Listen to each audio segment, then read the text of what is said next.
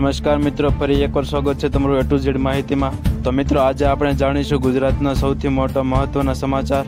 અને આ મહત્વના સમાચારની માહિતી મેળવીએ એ પહેલાં જો તમે અત્યાર સુધી એ ટુ ઝેડ માહિતીને સબસ્ક્રાઇબ ન કરી હોય તો સબસ્ક્રાઇબ કરી દેજો.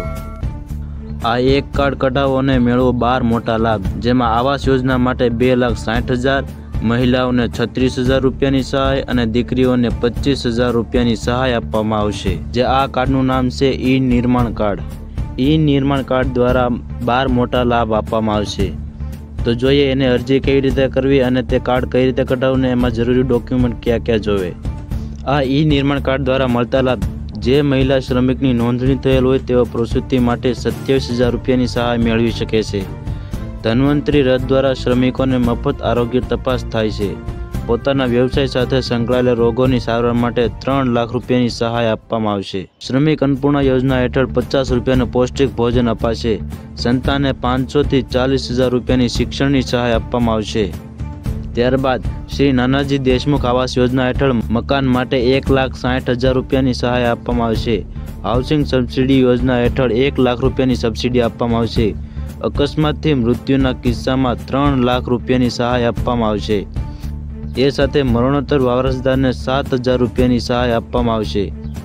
દીકરીના નામે મુખ્યમંત્રી ભાગ્યલક્ષ્મી બોન્ડ યોજના હેઠળ પચીસ હજાર રૂપિયાની સહાય આપવામાં આવશે.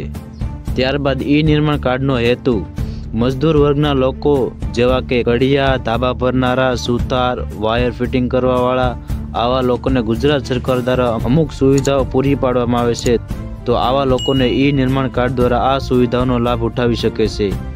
ઈ નિર્માણ કાર્ડ કઢાવેલા આવા મજદૂર વર્ગના લોકોને જ્યારે કોઈ મુસીબત આવે ત્યારે તેમને સહાય પૂરી પાડવામાં આવે છે અને સરકાર દ્વારા અનેક સરકારી યોજનાઓ તેમને લાભ આપવામાં આવશે. આ ઈ નિર્માણ કાર્ડ કોણ કોણ કઢાવી શકે છે? શ્રમયોગી જેની ઉંમર અઢારથી સાઠ વર્ષની વ્યક્તિ, સ્ત્રી કે પુરુષ કોઈ પણ.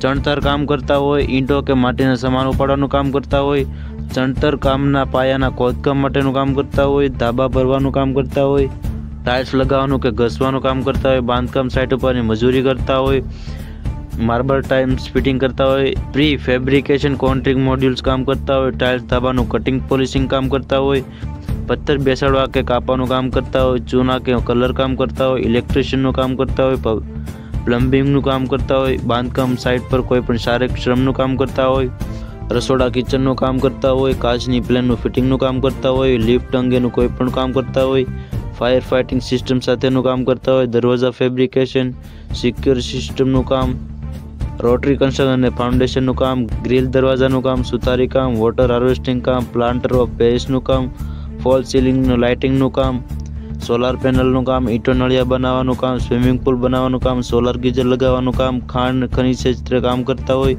શ્રમિકો હોય, જાહેર બગીચાનું કામ કરતા હોય રેલવે ઓવરબ્રિજ અંડરબ્રિજ કામ કરતા હોય ઇરિગેશન જેવા સાઇનેજ બોર્ડનું કામ કરતા હોય ફર્નિચર અને સિંગલિંગનું કામ કરતા આ તમામ લોકો આ કાર્ડ કઢાવીને એને લાભ મેળવી શકે છે. આ ઈ નિર્માણ કાર્ડ કઢાવવામાં કયા કયા જરૂરી ડોક્યુમેન્ટ જોઈએ? અરજદારનું આધાર કાર્ડ બેંક પાસબુકની પ્રથમ પાનાની નકલ, આવક દાખલાની નકલ, ઉંમરનો પુરાવો, જન્મ પ્રમાણપત્ર એલસી વગેરે કોઈ પણ ચાલશે.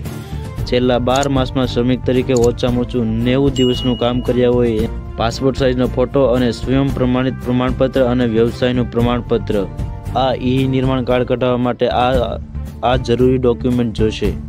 ત્યારબાદ આ ઈ નિર્માણ કાર્ડ કઢાવવા માટે અરજી કેવી રીતે કરવી?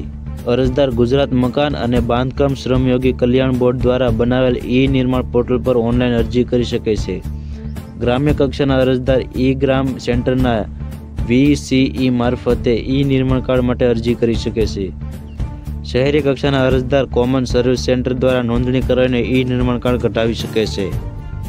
તો મિત્રો, આ ઈ નિર્માણ કાર્ડ કઢાવીને તમે મોટા લાભો મેળવી શકો છો, તો જલ્દી જ કઢાવી નાખો.